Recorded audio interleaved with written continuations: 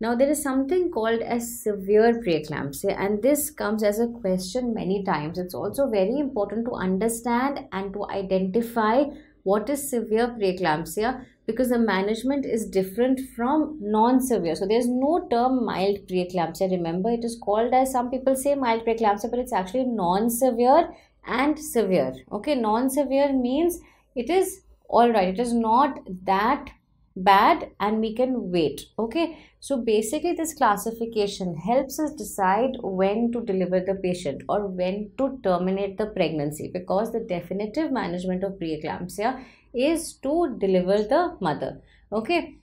So to determine when to deliver, we have to know whether we are dealing with non-severe preeclampsia or severe preeclampsia. And to know this, we need to know the features of severe preeclampsia. So the first part is the diastolic blood pressure. Diastolic blood pressure in severe preeclampsia would be more than or equal to 110 millimeters per mercury. In non-severe, it will be less than 110 millimeters of mercury.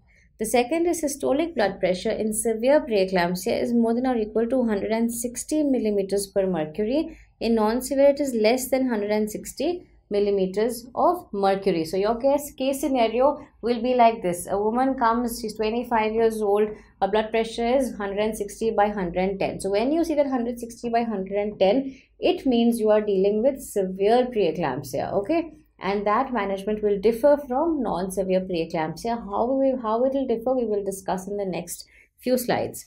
The third is proteinuria and this is very important because here is where major changes have happened. Initially it was said that a high degree of proteinuria means severe preeclampsia but now it is not important anymore. Okay so the degree of proteinuria no longer determines the severity of preeclampsia very important to understand because this has also been asked as a question. This is recent guidelines of 2018. Proteinuria no longer matters in determining the severity. It is only used for the definition, for defining preeclampsia. It is no longer used to determine the severity. Okay. The fourth is headache. So, see, see these two, all these are together. Headache, visual disturbances and upper abdominal pain. Okay these three are signs. What are they? They're impending symptoms of eclampsia. We just discussed this the impending symptoms of eclampsia.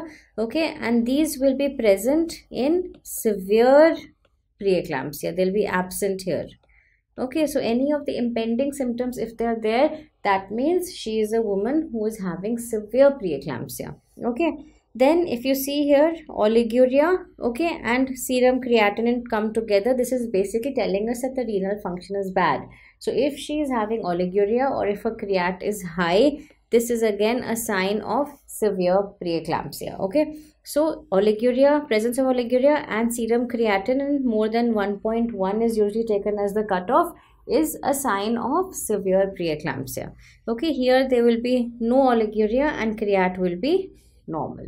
Okay another thing we see is in investigations of preeclampsia. We see the always see the platelet count. Okay platelet count is important because thrombocytopenia less than 1 lakh okay is seen in or is a sign of severe preeclampsia. It will be normal in non-severe preeclampsia.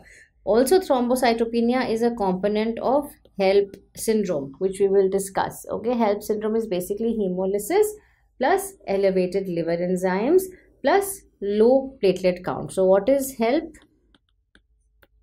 HELLP is a acronym. It means hemolysis plus elevated liver enzymes plus low platelets. So hemolysis plus elevated liver enzymes plus low platelets. So if there's thrombocytopenia, it is a sign of severe preeclampsia.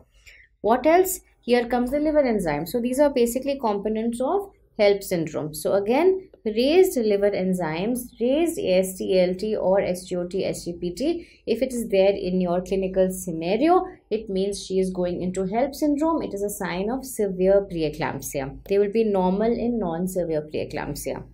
Next is fetal growth restriction if it is present okay it is again a sign of severe preeclampsia that means there's, there's so much deficiency of blood going to the uterus that the fetus is not growing anymore and there will be no fetal growth restriction in non-severe preeclampsia. And the last is pulmonary edema is again a feature of severe preeclampsia. So remember these points.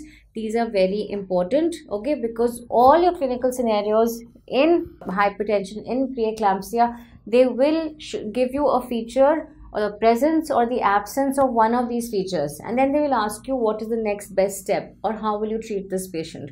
So if you know the severe signs of preeclampsia or symptoms of preeclampsia it becomes very easy to understand what to do next okay